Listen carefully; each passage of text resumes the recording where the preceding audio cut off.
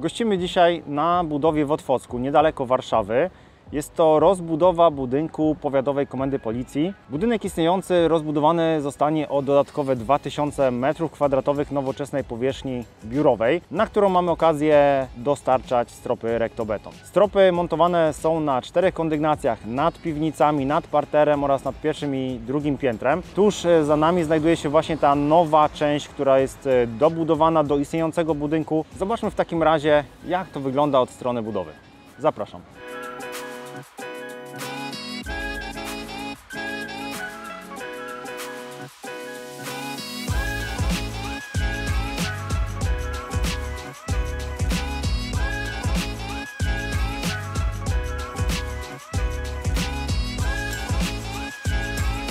Nowy budynek składać się będzie z dwóch brył czterokondygnacyjnych połączonych łącznikiem. Dostarczamy tutaj cztery stropy, czyli cztery kondygnacje wykonywane są w technologii rektobeton. Widzimy tutaj za mną pierwszą kondygnację, pierwszy strop, który był montowany bezpośrednio już nad piwnicami. Tutaj mamy parametr REI 120, natomiast wyższe kondygnacje posiadają stropy o odporności ogniowej REI 60. Za nami widoczny jest łącznik komunikacyjny między dwoma bryłami budynku. Są to dość e, duże bryły o sporych wymiarach, więc ze względów konstrukcyjnych i pracy konstrukcji całego budynku e, te dwie bryły są od siebie zdylatowane. I tak jak możemy tutaj zobaczyć e, na tym łączniku, samo połączenie łącznika i bryły jednej i drugiej jest dylatowane. Zarówno ściany konstrukcyjne, jak i stropy posiadają dylatację, czyli nie są konstrukcyjnie powiązane na sztywno z poszczególnymi bryłami. Możemy zobaczyć to w środku, jak wygląda szczegółowo. Nad nami znajduje się strop o rozpiętości nie przekraczającej 2 metrów,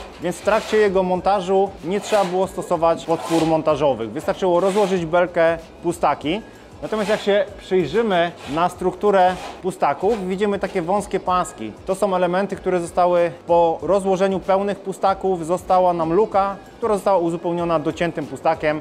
W zależności od pola te luki mogą mieć od 2-3 cm do pełnej szerokości pustaka. Strop rektobeton opiera się z jednej strony na ścianie konstrukcyjnej wymurowanej z cegieł silikatowych na podlewce betonowej grubości około 4 cm. Z drugiej strony Strop opiera się na podciągu żelbetowym, za którym znajduje się również płyta balkonowa, wykonana już w technologii tradycyjnej, wylewanej na budowie na mokro. Za nami ściana działowa silikatowa, która oparta jest na naszym stropie, natomiast y, u góry ta ściana nie dochodzi bezpośrednio do stropu. Szpara mniej więcej do 2 cm wypełniona jest materiałem elastycznym. E, w tym miejscu wykonawcy wykonali otwór pod e, rury kanalizacyjne bądź też pod prowadzenie pozostałych instalacji. Jak to wygląda od strony wykonawczej? Są dwie opcje. Pierwsza jest taka, że e, wykonujemy za pomocą otwornicy nawierty e, w samym pustaku betonowym e, od góry, sprawdzając w którym miejscu są belki, w którym miejscu są pustaki. Bądź tak jak w tym przypadku wcześniej fragmenty, gdzie były te instalacje, pustak betonowy został po prostu w trakcie betonowania zalany w 100% mieszanką betonową i potem za pomocą otwornicy o odpowiedniej średnicy został wykonany otwór we fragmencie pustaków betonowych, które zostały wcześniej zalane betonem. Dzięki temu mamy tutaj dosyć e, wytrzymałą obudowę takiego przepustu. Przed rozłożeniem stropów, e, przede wszystkim przed rozłożeniem e, belek, najczęściej jeżeli mamy do dyspozycji dźwig te belki są montowane od góry, wykonawcy montują sobie wcześniej już podpory montażowe. Nad tym pomieszczeniem e, zaprojektowana została podpora w formie jednego rzędu takich podpór. To jest w zupełności wystarczające. Natomiast e, w tym przypadku widzimy aż trzy rzędy, z tego względu, że wykonawca po prostu dodał od siebie dodatkowe dwie linie podpór. Natomiast trzeba pamiętać, że w zupełności wystarczy ta jedna podpora zgodnie z projektem. To jest wszystko przeliczane, analizowane więc tabelka w trakcie montażu, jeżeli zostanie obciążona pustakiem betonowym, mieszanką betonową, osobami, które chodzą w trakcie montażu, ona w zupełności wytrzyma te obciążenia i bezpiecznie będzie można zalać taki strop. W tej chwili rozszalowywane są e, słupy, trzpienie w ścianach konstrukcyjnych. Dzięki temu będzie można za kilka dni zacząć rozkładać strop właśnie nad tą kondygnacją. Po prawej stronie powstaje w tej chwili nowy fragment budynku, który będzie pełnił funkcje biurowe. W momencie jak będzie on skończony, gotowy do odbioru, użytkownicy starej części przeniosą się do nowego budynku, natomiast w starym rozpocznie się remont, w którym też będziemy brać udział, ponieważ tam będą wymieniane stropy z istniejących, niespełniających parametrów e, konstrukcyjnych ogniowych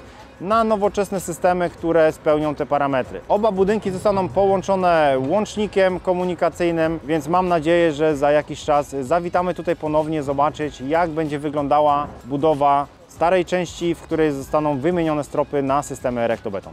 Znajdujemy się na najniższym poziomie, jesteśmy w piwnicach, e, nad którymi został zaprojektowany strop Rectobeton w układzie 16 plus 9, czyli pustak wysokości 16 cm, 9 cm nadbetonu. Natomiast ten strop uzyskał odporność ogniową REI 120. Żeby tą odporność uzyskać, po wykonaniu stropu będzie on jeszcze otynkowany tynkiem gipsowym na siatce grubości 1,5 cm, natomiast siatka rabica bądź leduchowskiego ocynkowana, zatopiona w samym tynku. Mieliśmy okazję zobaczyć dzisiaj, jak wygląda budowa komendy policji w Otwocku. Do zrealizowania została jeszcze ostatnia kondygnacja nad drugim piętrem. Stan surowy zamknięty będzie sfinalizowany już za kilkanaście tygodni, natomiast pod koniec roku ta bryła nowo projektowanego budynku będzie wyglądała mniej więcej tak, jak widzimy tutaj na wizualizacji. System Rectobeton e, można stosować zarówno na domku jednorodzinnym, gdzie nie ma wysokich obostrzeń dotyczących e, parametrów konstrukcyjnych, jak również na budynkach e, tego typu, gdzie pojawiły się, jak mieliśmy okazję zobaczyć, wysokie parametry ogniowe, odporność ogniowa REI 120 nad e, garażami. E, Przenoszone były ciężkie ściany działowe wykonane z silikatów. No i oczywiście obciążenia użytkowe na tym obiekcie są dwu, nawet trzykrotnie wyższe jak w przypadku budynków jednorodzinnych. Tak więc e, system można stosować i na domkach, i na budynkach użyteczności publicznej, a dla widzów przygotowaliśmy specjalnie darmowy formularz, który dostępny jest e, w opisie tego filmu. Na dzisiaj to wszystko. Dziękuję ślicznie za uwagę i zapraszam na kolejne odcinki.